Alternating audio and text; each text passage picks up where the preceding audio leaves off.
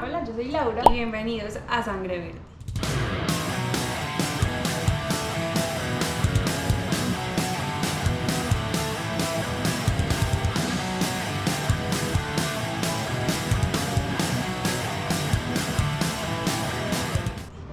El día de hoy vamos a estar hablando de un tema que ha sonado mucho en redes sociales y en los medios después de la terrible presentación de la selección Colombia ante Perú y la casi cantada eliminación del No. Mundial. Por favor, confiemos. Pero bueno, la eliminatoria de la selección no ha sido buena, el nivel, las decisiones, los cambios. Habrá que esforzarse mucho Las para convocatorias. La verdad es que ha sido un cúmulo de errores desde técnicas hasta de los jugadores, La malas presentaciones, falta de gol, pero impresionante.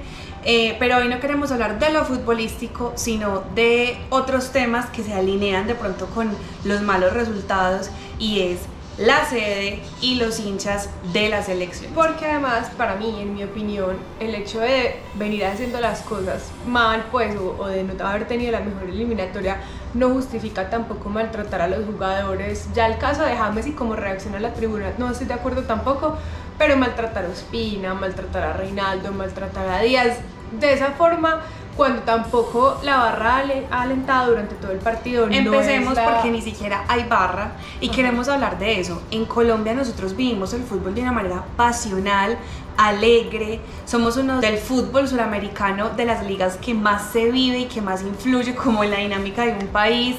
Y los clubes, los clubes son de los que tienen unas barras más representativas. Cada uno de los clubes grandes de Colombia, incluso los no tan grandes, tienen barras con cantos, con colorido, que acompañan a sus equipos en todas partes, que viajan y que de verdad se hace sentir el folclore colombiano y latinoamericano. con muy buenas instrumentales, bueno, mejor dicho, de verdad que en eso no nos quedamos atrás. La fiesta en las tribunas cuando se trata de fútbol profesional colombiano de la liga es excelente, pero ¿por qué entonces eso no se ve cuando juega la selección Colombia? Y no, el problema no es el colombiano, porque nosotros nos caracterizamos por ser notorios, por ser llamativos. Si ustedes ven un mundial, siempre en las fanzone y en los estadios se nota la hinchada colombiana, pero ¿cómo se nota? ¿Cuál es como lo que, qué es el plan de ir a ver a la selección? Y ese puede ser uno de los problemas.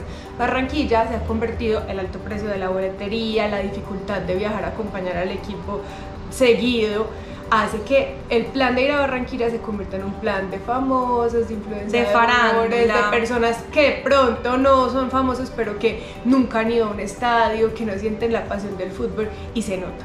Es un público como muy diverso, donde no hay una unión que gire alrededor de alentar al equipo futbolísticamente. Y no estamos diciendo que esto es porque sea Barranquilla, de pronto en cualquier ciudad del país también va a pasar que haya los invitados famosos, los influencers.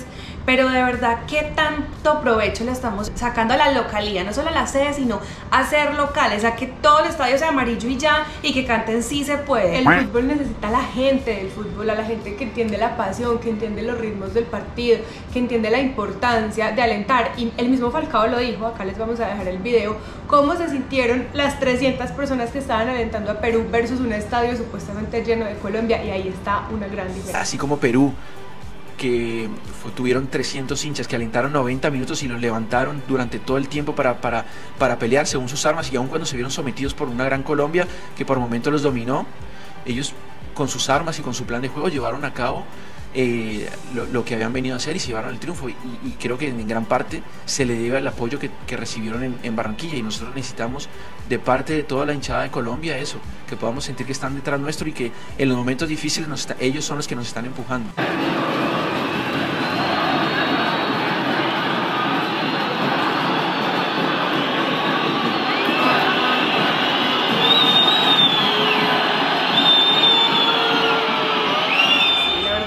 Por redes eh, y la gente que estuvo en el Metropolitano en el partido del viernes evidenció cómo unos pocos hinchas de Perú dieron cátedra de cómo se alienta en un partido y cómo también esa hinchada influencia en los jugadores. Y hecho, también lo vivimos. Hablando de Perú, esta selección fue una eh, votada por la FIFA y se ganó el premio de mejor hinchada en el último Mundial en Rusia 2018.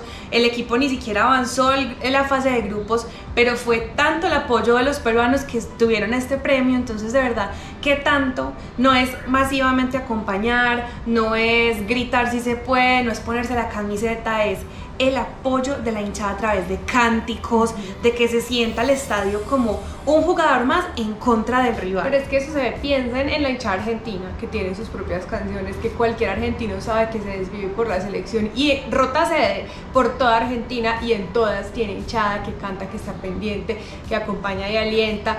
Piensen en la hinchada mexicana, que es famosa por sus cantos, Sí, que, por por la- FIFA por ha tenido pues, que intervenir, pero los mexicanos se hacen notar.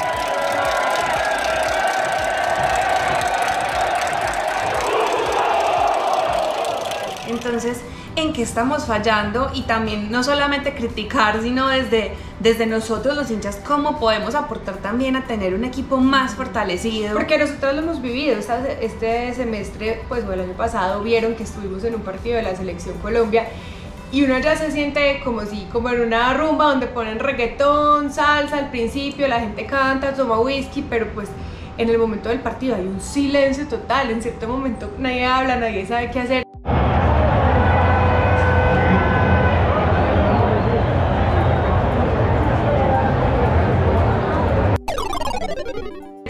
Necesita, creería yo, un grupo de barristas o de personas que sean los líderes de alentar, como sucede con las barras populares de los distintos clubes de Colombia. Y de hecho, hemos hablado y hemos visto por ahí ideas de por qué no también aprovechar y fomentar el fútbol en paz y coger a algunos líderes de distintas barras de distintos equipos y que ellos sean los líderes de formar la barra de Colombia. hecho en Manizales, en la feria de Manizales hubo un encuentro de barras por ahí de 6 o a 8 clubes de Colombia y tocan canciones en conjunto, tienen sí, iniciativas incluso de trabajo social, entonces ¿por qué no que esa gente pueda acompañar a la selección, que fomente un programa de verdad de hinchada? Y tener- eso está faltando. tener trapos, tener alegría, los papelitos, los extintores, lo que nosotros vemos cada ocho días en el Atanasio y la gente ve, no sé, en Cali, en Bogotá, no sé por qué, no sé qué tan contentos están allá, pero eh, lo que se ve en el fútbol profesional colombiano debería verse con la selección Colombia y también el tema de la sede, que Bueno, tanto... sí. Que tanto el calor de Barranquilla, que supuestamente era su mayor beneficio, ya en realidad nos juegan contra. Sí, ya la verdad los jugadores se ven igual de cansados que el rival, nuestros jugadores ya juegan en Europa, juegan en Argentina, bueno, juegan en otras partes y se ven muy afectados por el calor, hemos rotado que jueguen a las 4, que entonces no a las 4 sino a las 6, pero de verdad hay que tomar una decisión, no sé si el problema, o claramente el problema de Colombia no es la sede, claramente no es la culpa del público y tenemos muchos problemas de fondo que arreglar si queremos ir al Mundial, pero nosotros en este programa que es de hinchas y para hinchas queríamos hablar con ustedes de eso porque es nuestra forma como hinchas de aportar a que de verdad podamos demostrarle a la selección que estamos ahí.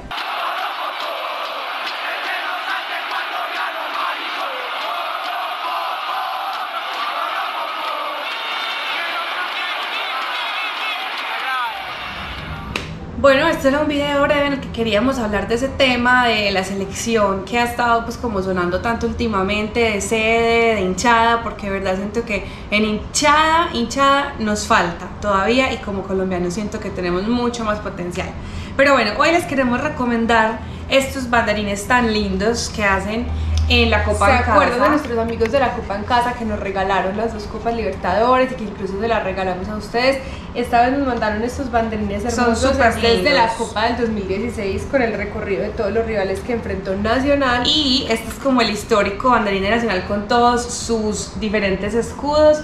De verdad que son muy bonitos, excelente la Síganle a calidad. la Copa en Casa porque acuérdense que ellos están cada vez innovando, ya las copas les ponen como una especie de pedestal personalizado según lo que quiera la persona, son muy hermosas y se las recomendamos muchísimo para que conozcan. Vayan, síganlos, también suscríbanse al canal y nos vemos este jueves contra Tolima. Ojalá ganemos, estamos muy contentas con el triunfo con- eh, contra Millonarios y bueno, esperamos seguir viendo mejorías y avances y puntos en Nacional. Nos vemos, Chao. chao.